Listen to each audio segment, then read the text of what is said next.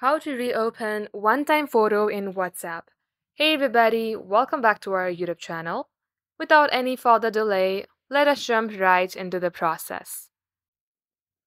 Start by opening up your WhatsApp application from your device and get logged into your WhatsApp account number. Now, in order to reopen the one-time snap, all you have to do is tap on three dot icon, then tap on settings. Under settings page, tap on the chats, and then tap on chat backup.